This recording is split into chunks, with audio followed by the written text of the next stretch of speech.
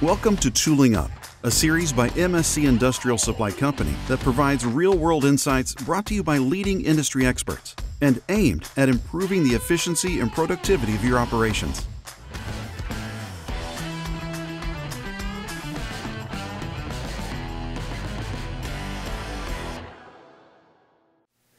Welcome to MSC's second episode of Tooling Up. My name is Jamie Goettler. Once again, I'm pleased to be joined by Dr. Scott Smith and Dr. Tom Kurfess. Gentlemen, thanks for joining us again. During the first episode, you'll recall that we spoke about Executive Order 13806 and the assessment which found that the American manufacturing base had some areas for improvement, and it was really based around the, the needs potentially if there was a homeland security threat. Now, a year ago, though we didn't have a homeland security threat, we had the pandemic that happened with COVID 19. And Dr. Smith, I'd love to start with you. You know, what did that pandemic prove to us as it relates to Executive Order 13806? Well, thanks, Jamie. I, I think what we saw is that the assessment in response to 13806 was accurate. Um, you know, what was true for national security issues is true for the economy generally. And so, for example, one of the things that was called out in the report was our overdependence on offshore resources and entities. We saw that in response to the pandemic when suddenly we had a surge in demand for personal protective equipment. We needed face masks. We needed test tubes for nasal swab samples and so on. The lead time on the tooling to increase our production of those items is on the order of six months to a year. And that's without other people in the world competing for those resources. So all of a sudden there's a problem. And, um, you know, I, a, a lot of rally to, to address the issue. A lot of uh, makers around the country uh, use their capabilities to print, you know, halos for face shields and so on. And God love them. I, you know, they, they jumped into the into the fight and did their best. And you know, over a few weekends, produced thousands of uh, of such devices. But of course, if we could produce the tooling, you know, thousands of devices is kind of a bad hour in a production run with mass production tooling. And so I think what we saw is that this over reliance on foreign sources is a problem for the entirety of the economy. You know, it, it, was obvious, Scott, and thank you for your response. Tom, uh, you know, I'm curious as somewhat of a follow-up. I, I know you you were right at, at the heart of, you know, making the adjustments. What can the U.S. do to respond to this? How, who can help? How can we help? And, and, how did we respond? So, Tom, tell me a little bit about you know your experiences, you know, on behalf of the United States a year ago, you know, based on this need for face masks and face shields and ventilator parts and test tubes. Tell me what you experienced there too. Sure. Well, Jamie, I, I think that it, it was it was a scary time. It was also a very exciting time because you looked at it and it's exactly what Scott said is, huh, we've got some of the solutions to these things. So, for example, and, and again, as Scott said, people were, were printing with their with their uh, uh, small 3D printers, uh, personal protective equipment, face face shield holders, and so forth. Uh, but what we were looking at is we were using our hybrid system. So we were putting metal down, uh, and then we were machining uh, that metal so that we could we could turn that into molds. And so for, for injection molding, so we could start to make these types of, of, of components. And even on the materials, um, we, we, turned our carbon fiber technology facility, which produces about 25 tons of, of, of carbon fiber material a year, uh, into an N95 uh, production facility. And really, we weren't super interested, and this is what I, I, mentioned last time, we weren't super interested in, in producing it ourselves. I, I, mean, 25 tons sounds a lot, you know, it sounds like a, a, big number, but the reality is it's not very big when you compare to, to some of our partners and what they make. So we work closely with, with Cummins, for example, and you know, they're, they're, they're doing engines right? But it, all engines have filters on them, Right? So then they they connected us with their their filter producer, and we said, okay, here's how you can convert your line into using N95 and produce those N95 that material, and then get it down to a company. I believe it's down in Florida that's actually making the mask. And, that, and by the way, that also created jobs as well. So I mean, it worked all the way around. The other thing that was really interesting is, and you know this because you and I were on the phone all the time and texting and sending email back and forth, and hey, can you get this design? And it, you know, part of it's not good enough just to make the mold, but you got to drop it in the machine. How does it fit into the machine? And you have different machines to fit it in there and so forth. So this whole digital connection, where we could basically say, hey, as opposed to me calling Jamie and then you know saying, hey, Scott, this is what we need to hook into our, our injection molder and so forth. If all of that could happen digitally, and electronically, and securely all of a sudden you have a super high speed capability. So, yes, we were successful, but we also uncovered, I think, a lot of weaknesses that we're working to address, which is a very exciting thing. And a lot of those things that we can just, we are going to nail them to the wall uh, in, in the next few years. I'll tell you that. It's exciting. I, you know, I think it, it is exciting. It Scott, really yeah, add, please add. It was a really exciting time to be at Oak Ridge. Uh, and we, Oak Ridge National Lab, we certainly made a difference. We, we had the people and the tools to really help in this regard. Um, those techniques, those things that Tom discussed, need a much wider deployment. Let me just add one means. more. Yeah, please. Thing. Yeah. So, so Scott said it was an exciting time to be at Oak Ridge.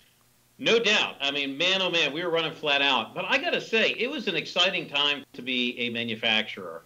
I, I just watched some of our partners and they were into it. They're like, we are saving people. They interacted with hospitals and, and, and with, uh, you know, uh, uh, with, with the Tennessee, you know, uh, version of FEMA or the Georgia version of FEMA, where, where these doctors are just saying, thank you so much for, for getting us this equipment and this material and so forth. I mean, it was, it was, uh, you know, you just can't beat the excitement and, and the feeling of accomplishment. I know it was a tough time and those are dark times, the accomplishments and, and, and the way that the community came together and just delivered was outstanding.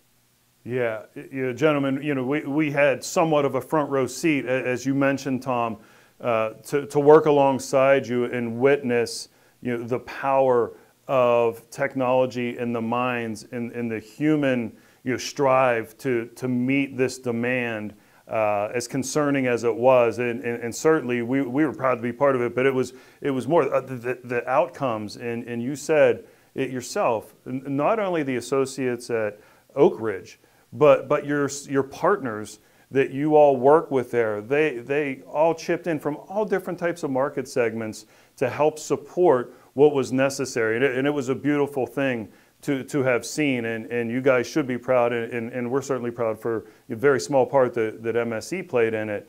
You know, Scott, I want to come back to you on, on this one, and, and that's to say, you know, what can we use from the pandemic, you know, that we learned? We, we, we learned that we were over dependent, but, but now there's this notion and this want nationwide to domesticate the supply chain, to become more independent. And in order to do that, we got to become more competitive. What are some of the things that either additionally that we learned or that we're, you're starting to see happen across the United States that puts us in a position where, where that feeling never happens again? Well, I think certainly Tom pointed out one of the things that's really right. Um, you know, the, the, the report to uh, 13806 uh, called out the skills gap as well. And you know, we spent a generation telling people that manufacturing was not a good career choice. And then we're surprised when we need it and there's not a pipeline of people ready to fill all of those manufacturing jobs. And there are lots of manufacturing jobs going unfilled.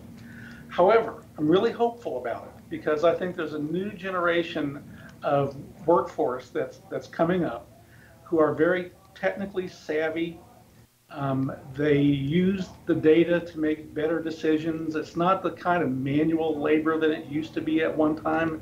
It's a knowledge business. And uh, so I, I think uh, spending a lot of effort in that, you know, I, I want to be careful when I say workforce development because a lot of people, when they hear workforce development, they, they see that as machine operators. Now, that's really important, and those are good jobs. And I mean more than that.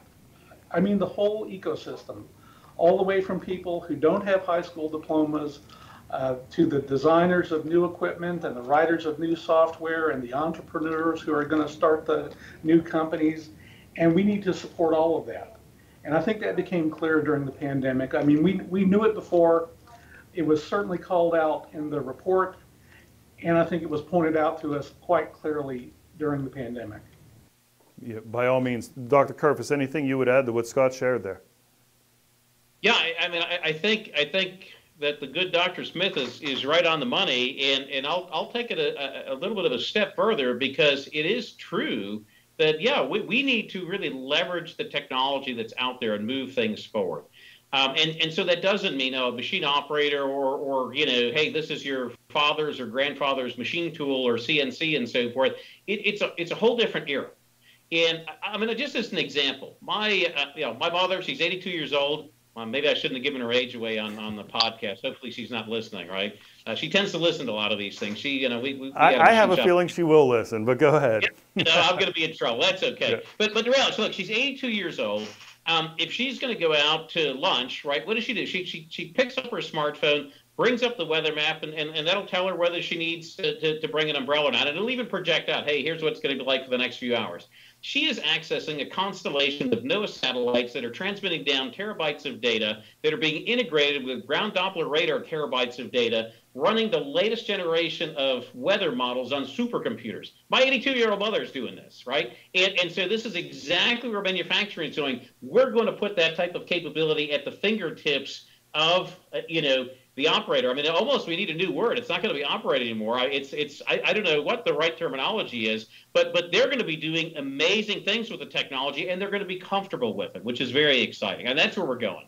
Yeah, I, I can see it potentially becoming productivity consultants more than operators. There's so many opportunities yeah. using Industry 4.0 endeavors or otherwise to to improve businesses and, and everybody take their part.